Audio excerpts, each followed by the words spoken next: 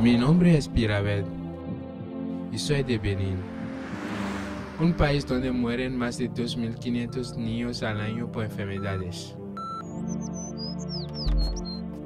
Un país donde solo queda menos del 4% de los bosques por desforestación a causa de la fabricación de carbón. Los niños de mi pueblo caminan cada día 5 kilómetros para conseguir agua de los pozos mecánicos que utilizará la familia para beber y cocinar.